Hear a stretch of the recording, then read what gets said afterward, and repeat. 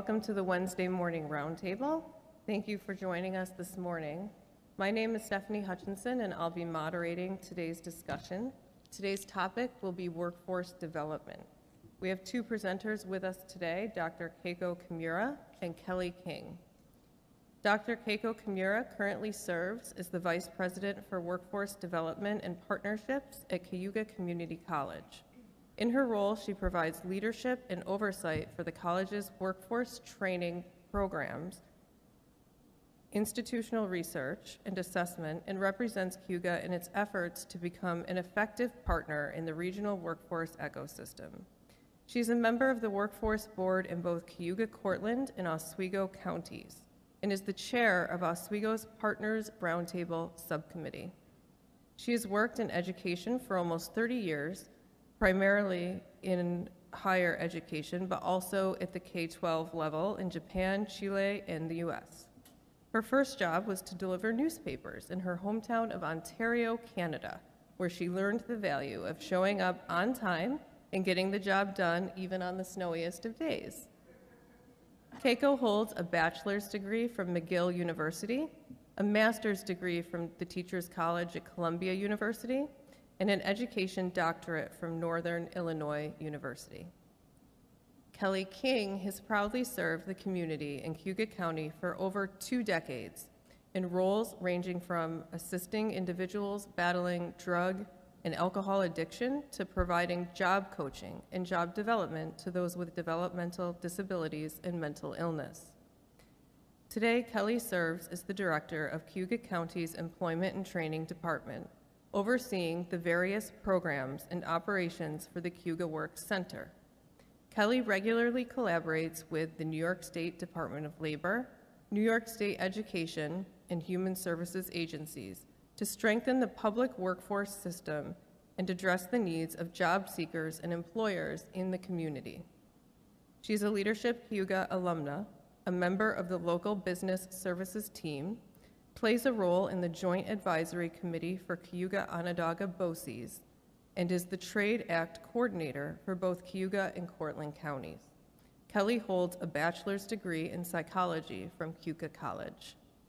And with that, I will turn it over to our presenters.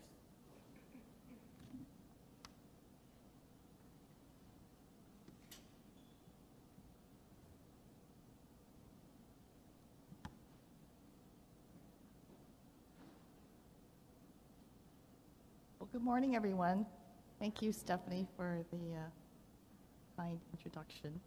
Um, so I, I, I know I'm scheduled to um, talk about uh, the facilities efforts that uh, the college has undertaken to support workforce development, namely the development of our Culinary Institute here in downtown Auburn, as well as the Advanced Manufacturing Institute on our Fulton campus in Oswego County, and the redevelopment of our Cornell Cooperative Extension Center on Grant Avenue. And I will certainly uh, discuss those projects, but I also want to emphasize that they, these projects um, are more than just capital construction projects, although that is certainly, um, those are certainly um, very important uh, efforts on their own, but they're also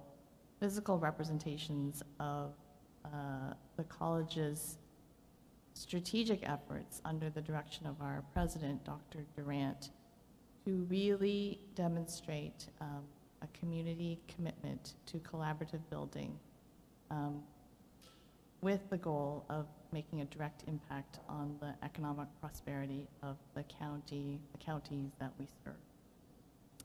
And specifically, I would say, these opportunities represent the college's desire and commitment to work closely with public and private entities um, in developing the next generation of well-educated, gainfully employed, critical thinkers and citizens. So how might we do that, you know, given the major disruptions that we've experienced over the past two years, beginning with the COVID-19 pandemic and the subsequent health-related closures, um, those things have certainly impacted all dimensions of our lives, from social to the economic to the educational realms. And for us in higher ed, our suppositions about higher education have certainly been turned on their heads.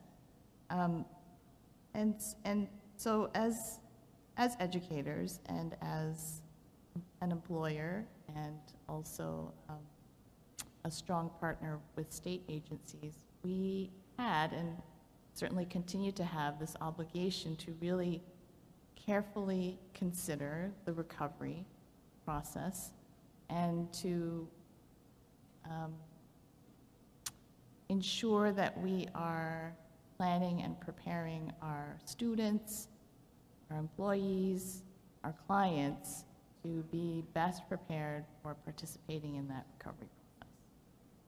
So I thought I would start by sharing um, just a little context in terms of the state of our national workforce systems right now with some labor data that I find interesting. Um, so we all know that 2020 is really going to be stuck in our minds as a time that really wreaked havoc on our um, employment, right? More than 20 million people lost their jobs. However, we now know that 2021 is considered a time of you know, pretty strong labor market recovery. Um, so much so that we now observe employers really experiencing severe difficulty in finding suitable candidates. The country as a whole has been adding about 550,000 jobs a month. So this sudden reversal from lows to highs has really um, had employers scrambling to find those uh, candidates, compete for more workers. They offer enticements like um, increased wages, uh, cash bo signing bonuses, and any other benefit they can think of to secure talent. Um, and this in turn has created um, the most worker-friendly job market that we have seen in decades. And the workforce is certainly aware of that, right? At least 4 million people have left their work um, over the past uh, the last six months of 2021, with many of them departing to find better pay, better benefits, more flexible schedules, etc. So all this to say that in the workforce development world, we are experiencing this friction, right, of what has been called uh, the many-to-many problem. We have many unfilled jobs and millions of people separating from employment and although many of those jobs that were lost at the height of the pandemic were considered um, frontline service jobs, they didn't necessarily require a higher, uh, a formal college education, they didn't necessarily translate to high wages, there are still millions of positions that require high skills and earn high wages that employers are still struggling to fill. So what are we to do with that information? Well, as a community college, we are uniquely positioned to address that friction, to reduce it, both for the candidate or the uh, student on one side, as well as the employer on the other side, by bridging the education to employment gap with flexible training that emphasizes skill building in short formats that lead to entry-level jobs with sustainable wages. Community colleges as a whole serve about 11 million individuals every year, and we are the only entities that have the scope and the reach to provide that job-focused training that is needed right now. And that is an unbiased opinion. so, you know, over the years, I would say, um, and perhaps even under the radar, Cayuga Community College has been steadily growing our workforce development programs, providing workers with new skills, enticing job seekers with um, new fields through entry-level programs in tandem with uh, indus local industry. We've been developing and delivering job-specific classes for local employers and even helping economic developers in their efforts to attract prospective new investment through national credentialing. Courses that we offer range, you know, it, it's a huge range. We, we offer blueprint reading, precision measurement, we offer courses in DevOps, Kaizen, lean manufacturing, Microsoft Excel, new supervisor training. The list could, you know, it goes on and on. Um, importantly, these training courses are not tied to a traditional semester or credit hours. They can be offered in formats that suit the employer or the learner, online in the evenings, over the course of three days or three months. This type of flexibility, we think, is the key to addressing what is needed now, which is essentially somewhat of a reset of our, um, how we view post-secondary education as a, um, an all-you-can-eat model and, and converting that to more of a eat it while I need it model, right? Um, more than ever, I would say, we think that these formats and formats and these types of trainings are exactly what is needed for the job seeker post-pandemic. Someone who may or may not have a degree, um, but they're looking for some way to upskill and to advance quickly. We think this approach also has broader application even beyond this group of job seekers. These delivery options are also suitable for the younger individual, someone who cannot commit to a full-time program of study, um, or they can't imagine committing themselves to two years or four years of study before they get a job because they want or they need to be working or they have a family that they need to um, balance responsibilities, and they need that additional training in order to make themselves marketable. So let's talk a little bit now about uh, the capital investments that the college has made to illustrate uh, this type of work in action. And I'll go in uh, reverse order in terms of development from projects that are more in the in development phase to the ones that are um, completed and up and running. So we'll begin, I'll begin with the Cornell Cooperative Extension Center on Grant Ave. So this is a two-story, 19,000 square foot facility that uh, is the future home of the Workforce Development Center. Um, the center will house the college's community, community education and workforce development programs and services, so those include many of the things I described earlier. Career pathway entry-level programs, corporate training, apprenticeship, short-term industry training, as well as um, professional development programs. Exactly the kind of training that um, is needed for the learner of today. The facility is also scheduled to house uh, the Cayuga Works Career Center, the services of which you're going to hear more about from, from Ms. King shortly. Um, partnered agencies here will work together to provide quality services um, through partnerships with Cayuga Employment and Training, New York State Department of Labor, Cayuga Onondaga BOCES, Access VR, and many more. In addition, Cayuga County's Cornell Cooperative Extension will also maintain offices here, continuing their work to strengthen New York families and communities through uh, nutrition education, health, and the promotion of environmental and social resilience. So the key to success to this endeavor specifically is really the willingness of critical agencies to support one another in contributing to a vibrant workforce ecosystem by carefully bringing together partner resources into one facility we can leverage the strengths of individual expertise and funding streams to collectively improve economic outcomes through collaborative career training, financial, technical literacy services, and work readiness programs. I mentioned earlier this friction between um, jobs, job openings, and job seekers, and the college is endeavoring to address this gap by serving to uh, by serving the job seeker or the student. By having a centralized location, we can reduce that friction for the candidate by employing the kinds of strategies we know are critical to getting people the training they need to get them the job that they're looking for. One of the high impact practices we are implementing is to blur the line between non credit workforce and credit training, such as our certificate in substance abuse counseling certificate, our um, medical coding specialist training.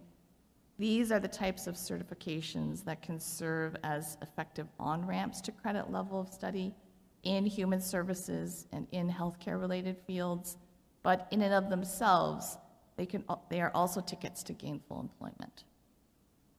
The friction on the employer side can also be alleviated by providing a single collaborative resource for employer services, such as recruitment, training, um, access to apprenticeship resources and funding, and um, certainly job training. Um, all right, next, I just want to spend a little time talking about the Fulton uh, Advanced Manufacturing Institute. So, for many years now, the New York State Department of Labor has list, Department of Labor has listed uh, advanced manufacturing as one of the significant industries in the central New York region. And this is evidenced certainly by the booming economic growth of companies around us today. Um, manufacturing certainly took a hit in the first decade of the 2000s, but with the advent of um, digital processing, advanced materials, um, new paradigms in um, assistive robotics, for example, we have seen the rise in production and processing in this region. And with that, a significant increase in demand for trained professionals in this field. So our approach to embarking on this project is really an exemplar of the types of relationships higher education entities really need to have with uh, private industry. Specifically uh, for the college, we have assembled a county-wide advanced manufacturing consortium, um, which is a 20-plus member group representing uh, local employers, workforce system partners, and economic developers who are committed to making this facility a reality. The vision for this facility is not only to provide training for traditional age college students who are looking for um, career training in uh, industrial and electrical technology, but the, the site will also serve as uh, a space for private enterprise to house training opportunities that they need to train their incumbent workers. Contributions from our partners have included not only um, cash dollars to support the construction of the facility, but also extend to um, consultation on the design and layout of the facility itself, um, input on our curriculum design, particularly on, in our short-term training programs. Um, I would say that the nature of this relationship has really gone beyond the sort of typical once-a-year participation on an advisory committee, the relationship is much more intrusive, and this has served us very well because we now have uh, direct access to the kinds of information that we need to ensure that our programs are relevant and flexible. So we are receiving the benefit of advi advice on our curriculum. Um, they also refer students to our programs. They refer potential trainers to be part of our um, uh, in, uh, teaching force, and most importantly, they tell us about the jobs that they see coming in the future and the ways in which we, we should be ready to prepare for that. So I'm happy to say that we will be holding a, a ribbon cutting ceremony for the Advanced Manufacturing Institute in early May, and we look forward to contributing to the training and upskilling of many, many individuals to enter the field of industrial electrical technology. Um, in another realm of workforce preparation training, we have our beautiful Culinary Institute uh, on Grant Avenue, or sorry, on uh, Genesee Street. And this is another example of the close collaborative partnerships with private and with private industry and public opportunities that the college has been able to secure, this time in the hospitality sector. We have a rising interest in culinary and food service management that the Finger Lakes, as we all know, is, is currently enjoying, combined with New York's downtown revitalization initiatives. Add to that a successful business owner who's looking to build on his legacy to support uh, workforce training uh, in this field of study. So to capitalize on this energy, the college was uh, awarded $850,000 through the Downtown Revitalization Initiative, and in combination with other generous donations, we were able to build this beautiful teaching facility in downtown Auburn. The Institute also represents a step uh, in a culinary career pathway that segues beautifully from the very strong culinary arts program at our Cayuga Onondaga BOCES. And this allows BOCES graduates to step into our two-year AAS program with some college credit already under their belts. From there, there are a host of careers that are available to them that students can get trained in, from restaurant to research and development chefs, caterers, food service managers, business owners, etc.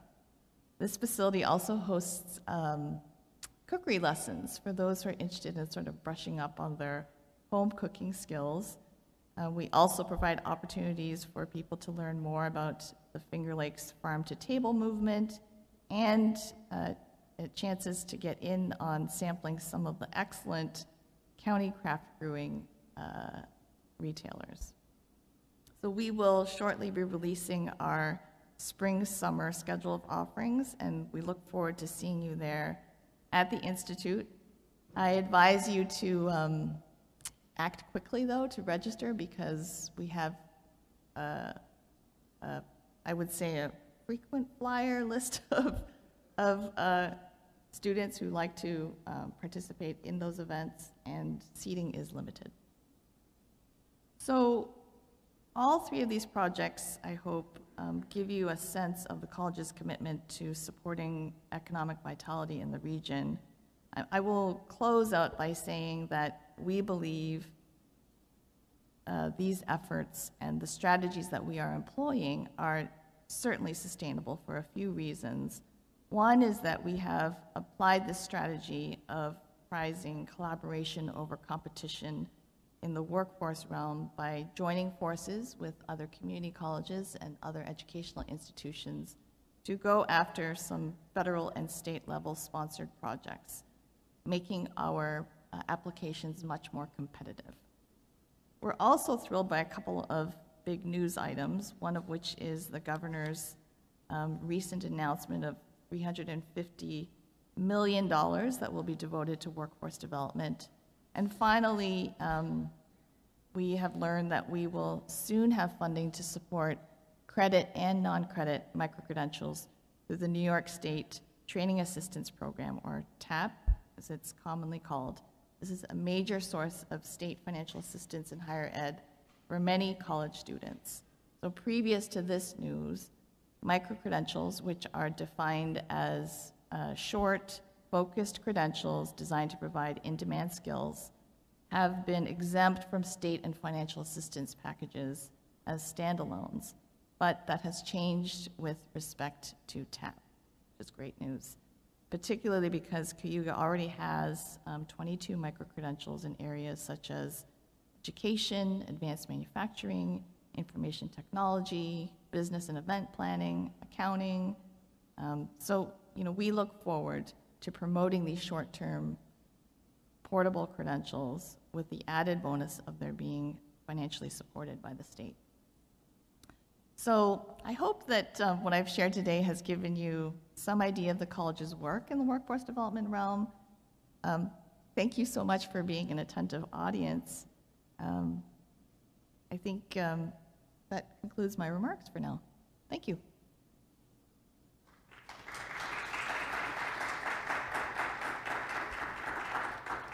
And I'll pass the mic over to Kelly King.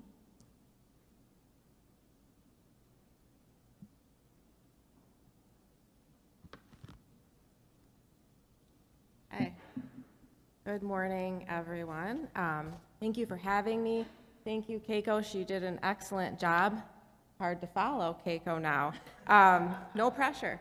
So I want to start out by uh, introducing myself. Again, my name is Kelly King, and I um, I started this role as the director of employment and training about six months into the pandemic. So, uh, employment and training has been the department that I've worked in for um, going on 20 years. I was an employment and training specialist. I started in 2003 when our Career Center opened its doors. So, prior to 2003, uh, we had multiple agencies throughout the community. Um, and employment and training was actually in the old historic um, post office. And various agencies came together to acquire funding to create a one-stop center and become certified as a national one-stop center. And we uh, moved into the space at Cayuga Community College in 2003 um, which was the year that I started. So I always like to tell people I feel like I grew up at the Career Center because I have been there almost 20 years since the day we opened our doors, um, and always wanted to have more of a leadership role within the center. So um, I'm going on my second year as the director of county employment and training, and, and as I said, I started six months into the pandemic, which was um, a challenge for myself to, you know, to lead the team when all of a sudden um, we're not there, or you know, I have staff um, working from home and furlough. So I think that I have a great appreciation to what employers went through with the change because I was also going through a change myself in my career. Um, so that's a little bit of background of how I how I entered into this role. Um, when they developed the career center, the theory was Let's bring all of the workforce development services and agencies together under one roof to essentially provide a seamless service to the community. Um, when we moved in, we partnered with the New York State Department of Labor on site. We had Unity Employment, Seneca Cayuga ARC, Access VR, um, and of course, Cayuga County Employment and Training. So the idea was when the job seeker entered in, the services were seamless and they didn't know who was providing the service. Previously, you would have someone going to Grant Ave to apply for unemployment and um, report their job search. But then they're coming to employment and training for workshop development or career counseling and guidance. Um, and then to access, if you had a disability and you were going to go through Access VR, you would then have to make another stop. And, and that's hard enough with transportation and time management, especially for the people that we serve. So coming together um, as a unit really helped serve the community and the job seekers and businesses in a much more efficient way. Um, I'm really excited about the workforce development building, as Keiko discussed and mentioned. Um, it's kind of taking what we have and building it and making it even stronger, and this is definitely the time to focus on that because we're rebuilding workforce and we're essentially rebuilding businesses in the community. Um, moving to the Workforce Development Center together, I think, is only going to enhance those opportunities for us as service providers and educators, for job seekers, for businesses. Um, it's going to strengthen all of those things, which is our goal, is to strengthen the, the workforce um, system. So today I wanted to talk a little bit about um, trends in the labor market. So I have some views from before COVID to during COVID, and I don't want to say post-pandemic because we're not quite there yet. Um, but the biggest trend that I see that isn't a surprise to anybody is the work worker shortage, right? So everybody says, well, what's the biggest trend? What's the biggest complication in workforce? And it truly locally, globally, is the shortage of work of workers. Um, the number of job openings exceeds the number of hires every single day. Uh, if I look back to when I started my career, it was job seeker heavy, right? So we provide job seeker and business services. Very seldom did the business reach out to us Um, it was the job seeker, stacks of resumes going out to the same employers. We would give the same referrals to the job seekers for, they were competing for very few jobs because, you know, the, there weren't that many jobs and there were a lot of job seekers. Now, the employer is the seeker. So I'm seeing that as the change in trend. It's flipped. The employer is coming to us and saying, we need job seekers. Where are the job seekers? And they want the magic answer. Where are they? Bring them to me. And I wish that I could. Um, that's my biggest challenge. Where are the job seekers, right? Where, where are they? So I think in the beginning, um, early on in the, in the pandemic, you know, the, the, the buzz was all about, well, they're all collecting unemployment. You know, they're on extended benefits. Why, are they, why would they look for work? Everybody's just collecting unemployment. No one will go back to work if we keep extending their unemployment insurance benefits, right? I probably said the same thing in the beginning of the pandemic. Well, I can say that extended unemployment had ended, has ended in September. We're seven months into, to, to that being gone. And we're still facing the crisis of where are the job seekers. It's not that they're home collecting unemployment or stimulus checks. It's truly a bigger complication and, and challenge for job seekers. Um, looking at the customers that we serve through employment counseling, um, and just through our customers coming through, uh, I think that the reason, and I can't, you know, my, my perspective is that number one, there were a lot of early retirements um, with COVID, right? So I mean, I, I know I know many people that I, one in particular, she was an RN, loved her job, um, could retire, but chose not to. You know, um, she had started to see what was going on with COVID, and she decided it was time to retire. And I think that that happened across the board, whether in, in not sector industry specific. I think that those that could retire or were offered early retirement uh, exited the workforce. So we had that crisis. We had a, a large number of baby boomers and folks that were um, working that chose to not anymore and not reenter because of retirement. Um, second reason, I think that people voluntarily quit their jobs. So many people had to quit their jobs. Why? I mean, there were people that had been furloughed and laid off, and companies unfortunately closed and downsized. But you have people that voluntarily left their employment because of care responsibilities, pressure due to the staffing shortages. I mean, when there's staffing shortages, I saw it in my own office.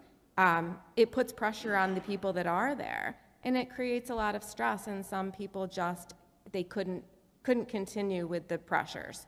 Um, schools closed kids were working remotely. Some parents didn't have a choice. So the biggest thing that i saw was employers didn't want to change the way they did business but the job seeker and employees needed flexibility. So there was the friction there. Um, i need a flexible work schedule.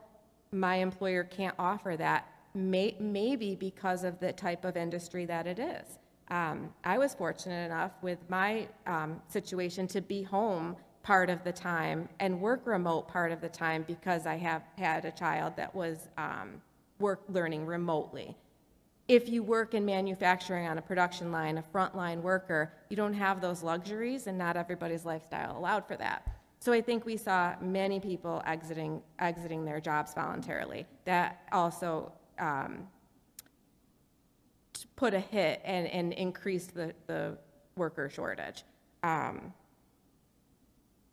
so you know, I think that I think that now um, that that quick answer of everybody soaking up unemployment, I think now people are realizing there is a much larger picture to that, or we would see more people back to work and less you know, less openings. And as Keiko said, every day, every day there are job openings and, and nobody to fill those.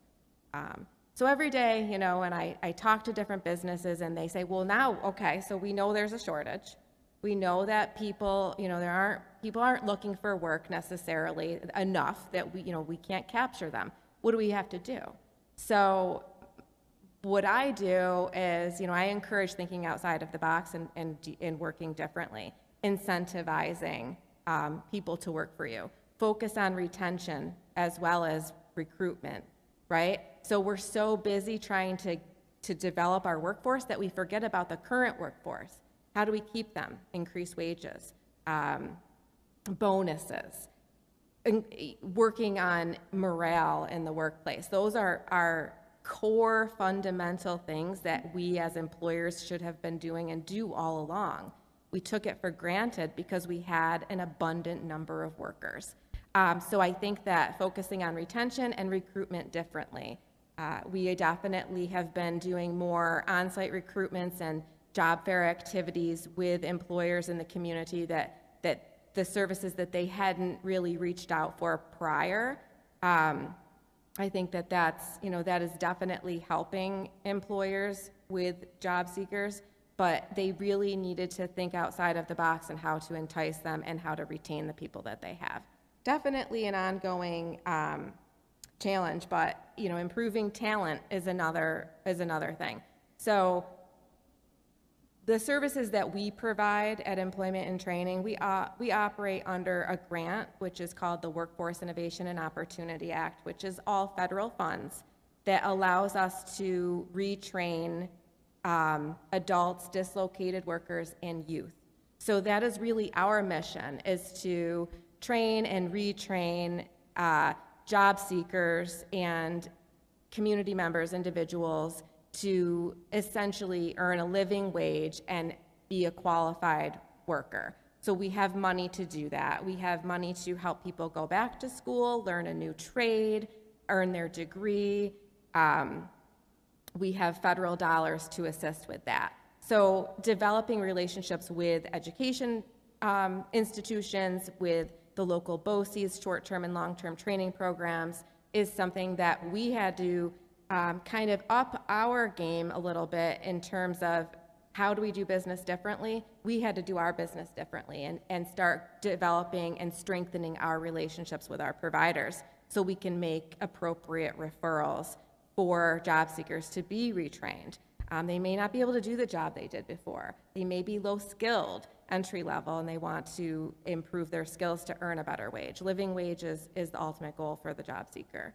Um, we also have on-the-job training dollars for employers. Uh, that's something that I, uh, I really see value in that program because it's a win-win. Uh, it's a wage subsidy to the employer. So the job seeker, if there's a gap in their skills, um, it gives the employer an incentive to hire them because we can reimburse the employer half of the hourly wage. So you don't have a lot to lose. You, you might do an interview and they're lacking X, Y, and Z, but they have great soft skills. And, and you can't teach soft skills. We, we have, we try. I mean, we have workshops that offer soft skills training and job search training and job readiness. Um, but it's, you can teach somebody how to operate a, a CNC machine. You can teach somebody how to draw blood, but you can't always teach somebody how to have the right soft skills and personality and fit. So when an employer finds that, but they don't have all the skills, the, the hard skills, then we can write a contract and reimburse them while they're learning.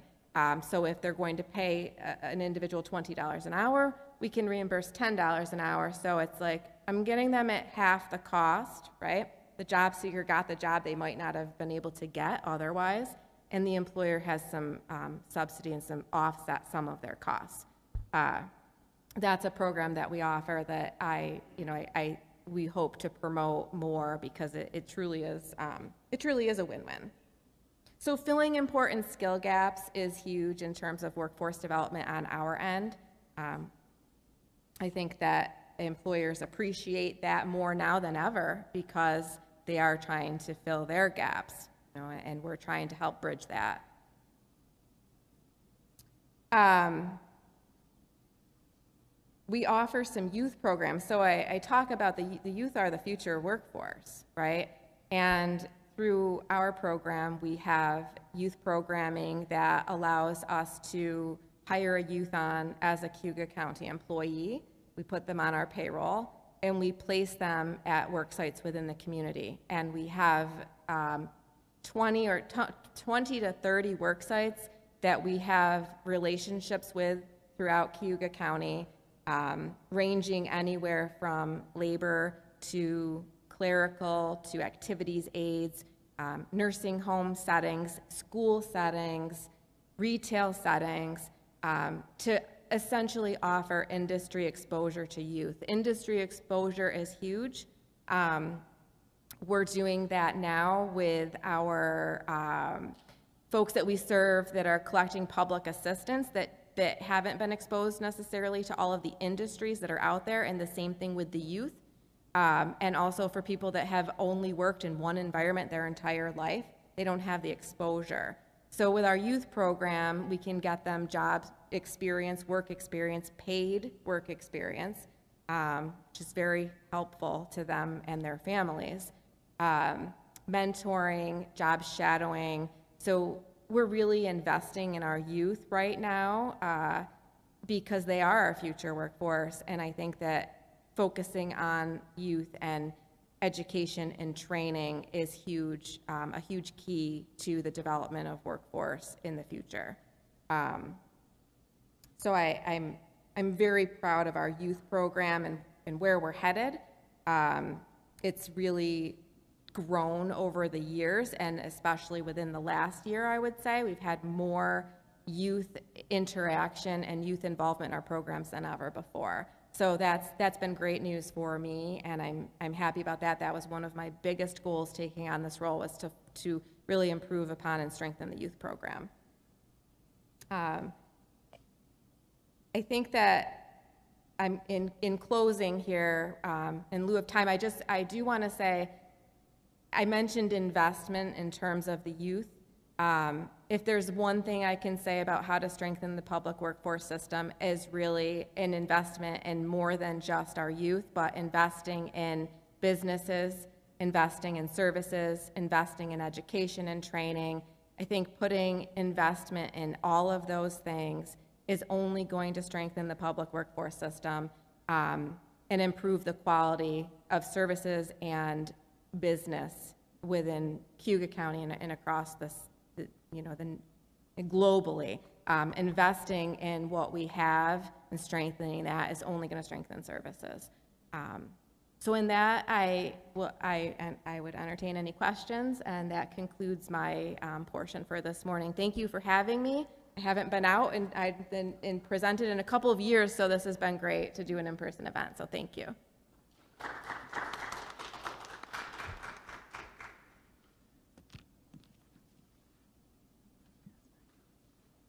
Great, thank you both um, for all of the wonderful information. Um, We will entertain questions at this time. Um, I have a question to start off. Um, Could you, I- and I, perhaps this might be a, a- a question for Kelly, which industries within Cayuga County um, have been most acutely impacted by the worker shortage? And have any industries benefited um, from the whole COVID experience? Excellent question. Um, I I would say that home care agencies have and, healthcare agencies have probably faced the the biggest challenge in terms of loss of staff from my experience. Um, one agency in particular that provides home care, uh, it, it was hard you know, from the pandemic for people to want to go into other people's homes and care for them, um, which is a challenging job without a pandemic going on. Um, and I think that they they probably suffered the most from from my experiences. I mean, I, I think that businesses, I don't think it's industry sector specific. Frankly, I think that all businesses hurt from from this. I think that home care, healthcare probably suffered maybe the most. Um, in terms of benefit, I think that some, um, I think that some of the restaurant hospitality type uh, businesses, I would say, benefit in terms of learn to do their jobs differently and moving forward has allowed um, greater avenues for revenue uh, with you know the the food delivery and um, all of those things. I think they'll continue to do that post pandemic, and I think that's going to bring in a greater revenue than old style um, way of business. So I think that I think there's been some positives for the for them, but I would say healthcare probably took the biggest brunt of it. And for Dr. Kimura, um, how do you generate interest? How do employers generate interest in advanced manufacturing work? Um, because it's not, just when you hear about it, it doesn't seem like the most glamorous um, position, and we know that students like, you know, are really driven by jobs that seem sexy and glamorous. So what are, what are some of the strategies employed?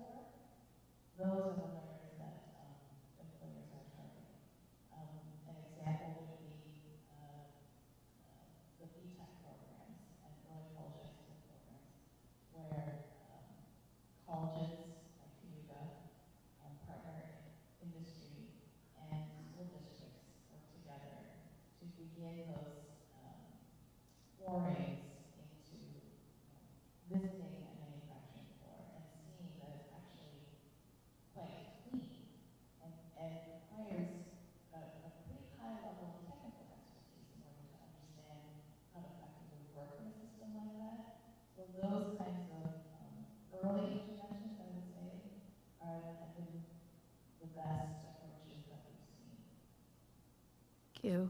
Do we have any questions from the floor? Mr. Donovan? Uh, as you know, uh, workforce development, your staff and office is currently providing a training course for the fed alcohol substance abuse, restricted training course. And by the way, it's going very well, and I just want to say, you know, we're, when we receive our certificate, we're all investors in our community. We're gonna be working with the local providers. We provide the services that our county residents, we're talking to alcohol substance abuse need. And, uh, but looking ahead, planning ahead, uh, myself and my fellow students to enhance our career skills. Uh, with the administration, your office, look forward to providing a mental health training skills and training course similar to the one that's being offered now is the CASAC or other career opportunities in human services uh, field. Uh, That's my question for you. I mean, I want- Okay. Just, you know, expansion of career services, professional development. Yeah. Maybe mental health, for example, mental health field. Yes, okay.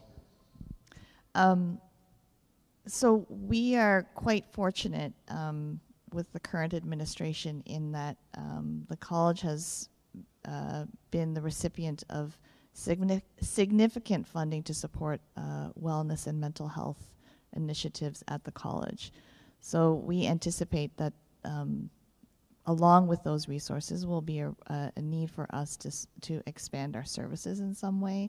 So, you know, that is an opportunity for individuals who are training within those uh, job sectors to consider working alongside with us, particularly um, we will be targeting uh, agencies within the community that provide similar services where we can work together to collaborate on resources. I hope that answers your question. It does, thank you. And Kelly, you mentioned, uh, the Access VR program with the Cayuga Works Center. It's off for a number of years. And, uh, I can relate to that, um, with this as a company, like our local consumers or job career opportunities. It's a wonderful program. And the essentials it provides.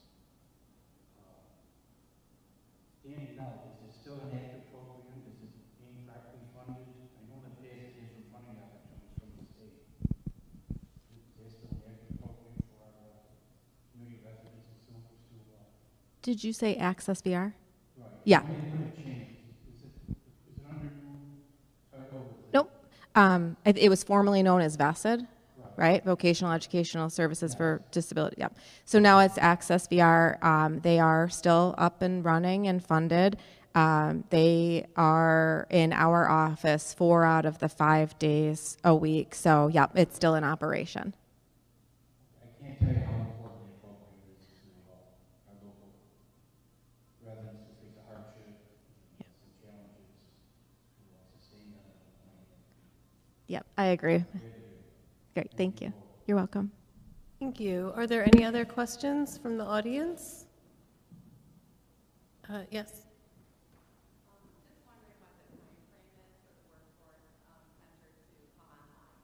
So the question was, what is the time frame for the Workforce Development Center to come online?